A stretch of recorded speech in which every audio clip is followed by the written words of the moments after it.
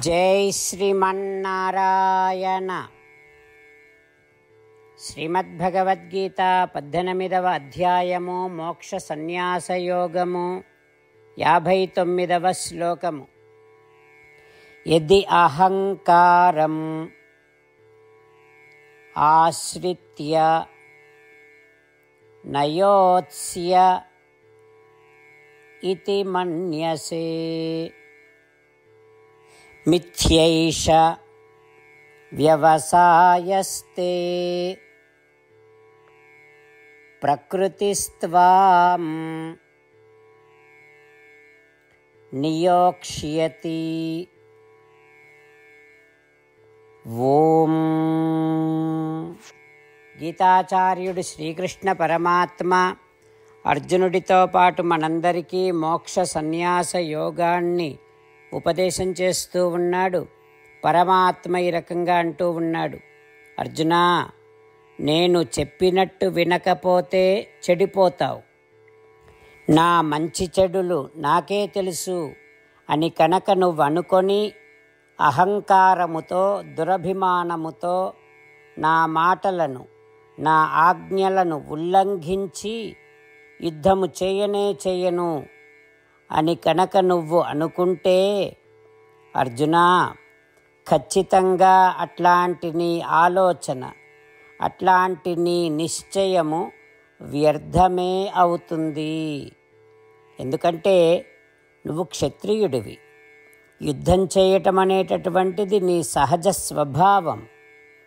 అందుకని నీ లోపల ఉన్నటువంటి నీ సహజ స్వభావమే నీ చేత తప్పకుండా యుద్ధం చేయిస్తుంది అంటూ శ్రీకృష్ణ భగవానుడు అర్జునుడిలో ఉండేటటువంటి సహజ స్వభావమే అర్జునుడి చేత యుద్ధం చేయించి తీరుతుంది అని చెబుతూ అదే ఒకవేళ అర్జునుడు తన మాట కనుక వింటే అర్జునుడి భారమంతా తానే వహిస్తాను అని స్పష్టం చేస్తూ ఉన్నాడు.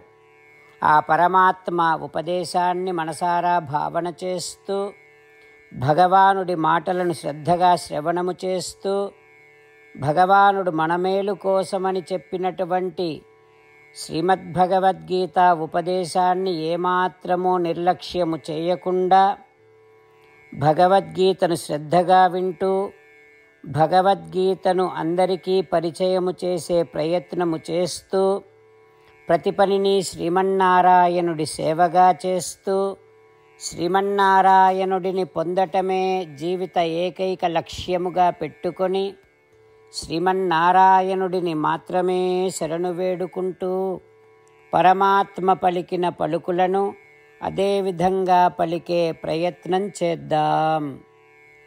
యద్యహంకారమాశ్రిత్య నయోత్స్య మన్యసే.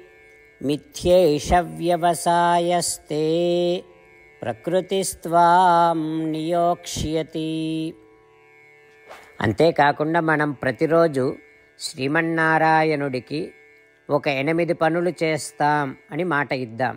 ఎందుకంటే శ్రీకృష్ణ భగవానుడు పద్దెనిమిదవ అధ్యాయములో అరవై ఐదు నుండి డెబ్భైవ శ్లోకాల ద్వారా శ్రీమద్భగవద్గీత అంతటికీ సారభూతముగా మనకు ఎనిమిది పనులు చేయమని చెప్పాడు. అలా చేస్తే చాలు నేను మిమ్మల్ని అన్ని విధాలుగా రక్షిస్తా అని ప్రమాణపూర్వకముగా ప్రతిజ్ఞ కూడా చేశాడు.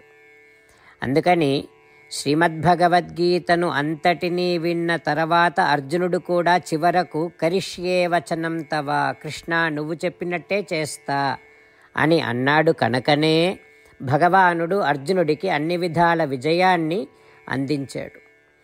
మనం కూడా ప్రతిరోజు శ్రీమన్నారాయణుడికి ఆ రకంగానే మాట ఇద్దాం. ఎనిమిది పనులు చేస్తాం అని మనము మాట ఇస్తే అది అష్టాక్షరీ మహామంత్ర జపము చేసినటువంటి ఫలితాన్ని మనకు ప్రతిరోజు ఇస్తుంది. ఇట్లా మాట ఇవ్వటం కంటే గొప్ప పూజ యజ్ఞము తపస్సు మరొక్కటి లేనే లేదు. అందుకని నేను అంటూ ఉంటాను మీరు మనస్సులో భావిస్తూ ఉండండి. ఈ రకంగా మనము మాట ఇస్తూ ఉంటే శ్రీకృష్ణ భగవానుడి ముఖారవిందములో కలిగేటటువంటి ఆనందాన్ని మనం ప్రతిరోజు దర్శిద్దాం ఆస్వాదిద్దాం. జై శ్రీమన్నారాయణ. హో శ్రీమన్నారాయణ నువ్వు చెయ్యమన్నట్టే నేను నిన్నే సంతతము ధ్యానము చేస్తూ ఉంటా. హో శ్రీమన్నారాయణ నువ్వు చెప్పినట్టే నేను నీ భక్తుడిగానే ఉంటా. హో శ్రీమన్నారాయణ నువ్వు చెయ్యమన్నట్టే నేను నా విధులను కర్తవ్యాలను నీ సేవగా నీ తృప్తి కోసమనే సక్రమంగా నిర్వర్తిస్తూ ఉంటా. హో శ్రీమన్నారాయణ నువ్వు చెప్పినట్టే నేను నీవాడిని అనే మహావిశ్వాసముతో నీకే నమస్కరిస్తూ ఉంటా. హో శ్రీమన్నారాయణ మామేకం శరణం వ్రజ నన్ను ఒక్కడిని మాత్రమే శరణు వేడుకో అని నువ్వే అన్నావు కనుక నేను నిన్ను ఒక్కడిని మాత్రమే శరణు వేడుకుంటా. ఓ శ్రీమన్నారాయణ మాసుచహ ఇక దుఃఖించకు అని నువ్వే నాకు భరోసా ఇస్తున్నావు కనుక నేను ఇక దుఃఖించనే దుఃఖించను.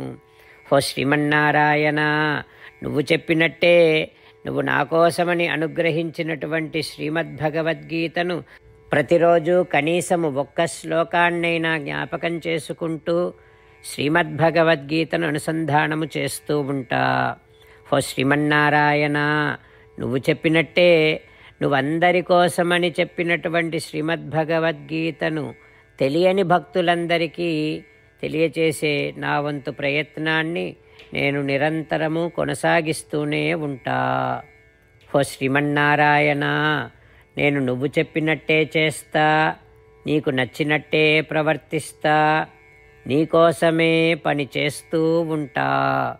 కరిష్యే వచనం తవ. ఎది అహంకారం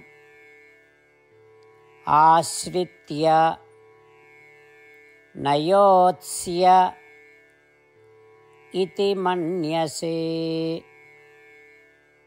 मिथ्यैष व्यवसायस्ते। प्रकृतिस्त्वां नियोक्ष्यति।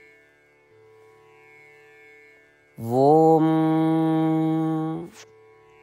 यद्यहङ्कारमाश्रित्य नयोत्स्य इति मन्यसे मिथ्यैष व्यवसायस्ते ప్రకృతిస్వాం నియోక్ష్యతి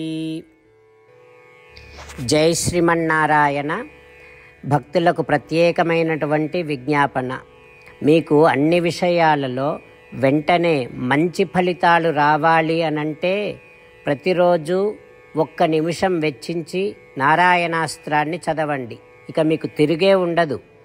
నారాయణాస్త్రాన్ని పొందడానికి మీరేం చేయాలంటే నారాయణాస్త్రం అనే వెబ్సైట్కి వెళ్ళి మీ పేరు మీ ఈమెయిల్ ఇస్తే మీ ఈమెయిల్కి నారాయణాస్త్రం పీడిఎఫ్ వస్తుంది. అందులో ఒక రామాయణ శ్లోకం ఒక గీతా శ్లోకం ఒక విష్ణునామం ఉంటాయి.